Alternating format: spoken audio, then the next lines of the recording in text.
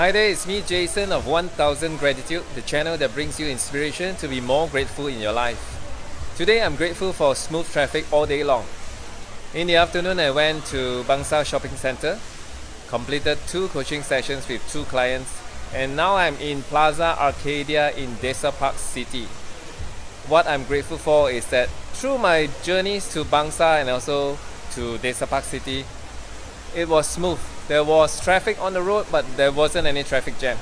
So now I have 10 minutes to spare before my coaching client comes and meet me at 8.30 p.m. Actually, on a daily basis, you can find at least one or two moments that you can be grateful for. For example, getting a parking right in front of the lift, getting good service from your regular Starbucks barista who remember your regular drink, or getting your lunch meal served within just 10 minutes during peak hours. Those are moments that you can be grateful for and I encourage you to start looking at them. Start finding grateful moments in your daily life.